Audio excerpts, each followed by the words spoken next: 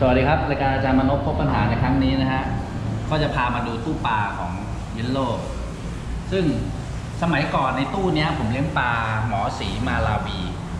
ปลาหมอสีมาลาวีเป็นปลาน้ำจืดสีเหลืองที่มาจากทวีปแอฟริกาเลยนะ เป็นปลาน้ำจืด แต่ก่อนเลี้ยงในเนี้ยเลี้ยงอยู่ประมาณเกือบสิบตัวนะเคยเห็นไหมสีเหลือง เคยเห็นว่าอยู่ แล้ววันหนึ่งเนี่ยผมต้องการย้ายตู้ปลาก็จะทำออฟฟิศใหม่ ผมก็เลยเอาปลาหมอสีเนี่ยใส่น้ำนิดนึง ใส่ไว้ในกระป๋อง แล้วมีคนเนี่ยไปเอาน้ำก๊อกอะไปเทให้มัน แล้วผมก็ไม่ได้ดูว่ามีคนเอาน้ำหวังดีเอาน้ำไปใส่ให้มันเนี่ยน้ำนั้นมันมีคอรีนพอผมมาเห็นอีกทีนึงก็คือปลามันช็อกคอรีนกำลังตายแล้วที่มีอยู่ประมาณเกือบสิบตัว เหลืออยู่ประมาณ3ตัว ที่แบบว่ายังเห็นว่ายังไม่ตายตัวอื่นน่ะนิ่งแล้วไอ้สามตัวนี้ยังไม่นิ่ง ทั้งทั้งที่อยู่ในกระป๋องเดียวกัน มันมีตัวที่รอดอยู่ แล้วผมก็เลยเอามันสามตัวนี้ไปปล่อยไว้อยู่ที่อ่างหน้าออฟฟิศเจโรเดี๋ยวคุณไปดูกัน ในอ่างหน้าออฟฟิศเจโร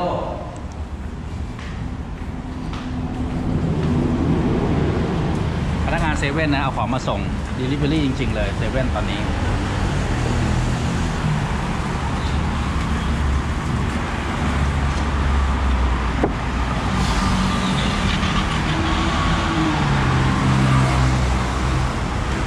ขอ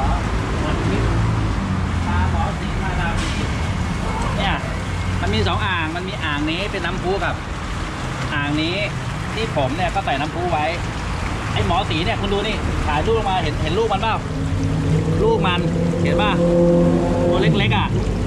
สีเหลืองอะเห็นนิดนึงครับเออเห็นแม่มั้ยแม่มันตัวใหญ่มาแล้วน่ะ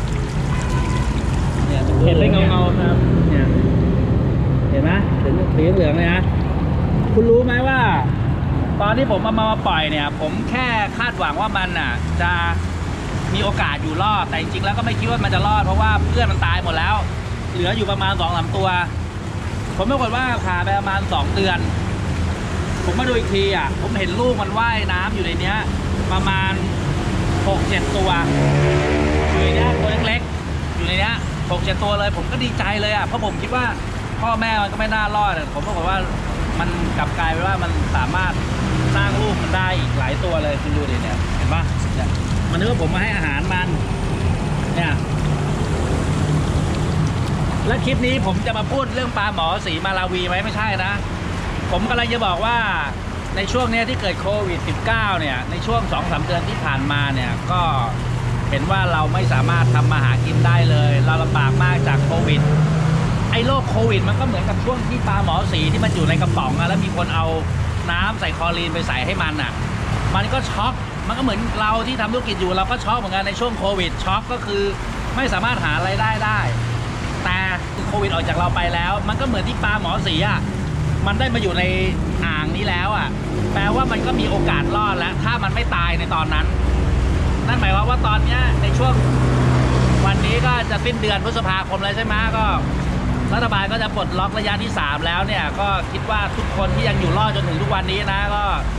สามารถที่จะมาหากินกันได้เกือบร้อยเปอร์เซ็นต์กันทุกอาชีพแล้วยกเว้นอาชีพพวกสถานบันเทิงตอนกลางคืนที่จะลำบากหน่อยที่จะต้องอาจจะต้องยืดไปอีกสักหนึ่งเดือน ผมคิดว่านะ ไม่ว่าจะประกอบอาชีพอะไรก็ตามเนี่ยเราได้รับผลกระทบจากโควิดกันหมดเลย แต่ว่าอยากให้มีกำลังใจเหมือนปลาหมอสีของผมคู่เนี้ยที่มันสามารถได้มาอยู่ในน้ำใหม่ได้ คือหลุดมาได้มาอยู่ในที่ที่ใหม่ได้ ก็เหมือนเราได้มีโอกาสได้ทำธุรกิจอีกครั้งหนึ่งก็ พูดให้กำลังใจสำหรับทุกอาชีพเลย ที่ตอนนี้คุณกำลังแบบว่าเหน็ดเหนื่อยหรือลำบากมากกับการหาเงิน มีทั้งหนี้สินรออยู่และค่าใช้จ่ายที่ต้องรอจ่ายต่อไปนะก็จะได้หาเงินกันได้ใหม่แล้วนับตั้งแต่เดือนมิถุนายนนี้เป็นต้นไปก็ต้องสู้ๆและผมเองก็ได้รับความลำบากนี้เหมือนกันผมก็ต้องบอกกับตัวเองด้วยใช่ไหมว่าก็ต้องสู้ๆด้วย เราก็เปิดคอร์สอบรมสดไม่ได้เหมือนกัน ก็ให้นึกถึงปลาหมอสีของผมเอาไว้ เดี๋ยวจะมีลูกมีหลานแล้วธุรกิจมันก็จะรุ่งเรืองแล้ว เพราะมันเหมือนช่วงที่อะไรนะ วิกฤตช่วงที่วิกฤตก็เหมือนช่วงที่ท้องฟ้ามันมืดมิดกำลังจะมีฝนตก แต่หลังจากพายุมันผ่านไปแล้ว ท้องฟ้ามันก็เป็นไงแจ่มเปิดแจ่มใสก็มีความสุขกันได้ โอเค